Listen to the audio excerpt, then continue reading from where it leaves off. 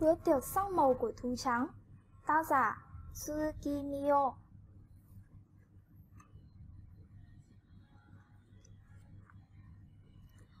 Các bạn thú trắng tổ chức một bữa tiệc. Wow, có rất nhiều loại trái cây, rau củ trên bàn việc tiệc. Gấu trúc ăn ngấu nghiến quả dâu tây ngon lành. Dâu tây Gấu trúc Ăn dâu tây xong, cả người thành màu đỏ mất rồi.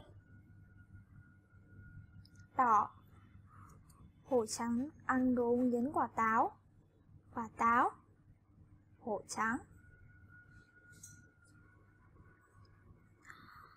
Ăn quả táo, cả người thành màu xanh lá cây mất rồi. Xanh lá cây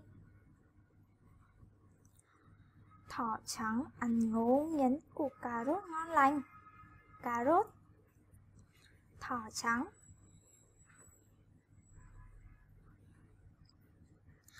Ăn cà rốt xong, cả người thành màu cam mất rồi.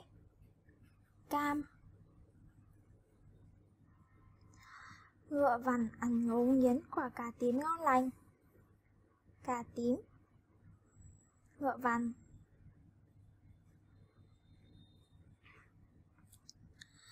Ăn cà tím xong Cả người thành màu tím mất rồi. Tím. Chuột bạch ăn ngấu nghiến quả đào ngọt lịm. Quả đào. Chuột bạch.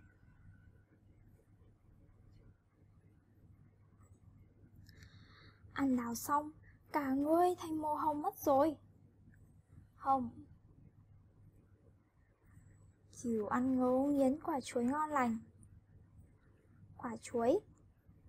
Chiều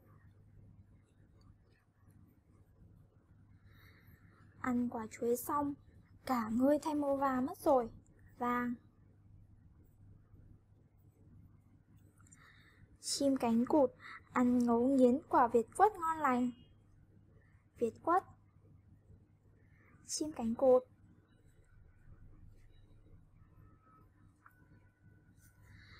ăn diệt quất xong Cả người thành màu xanh lam mất rồi.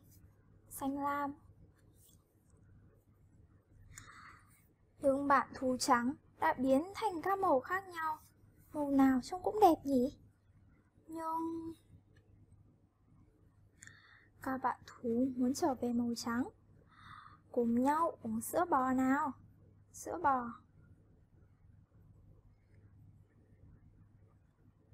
Ừm ực, ưng ức ưng ức ưng ức Các bạn thú, cả người đã trở về màu trắng rồi này.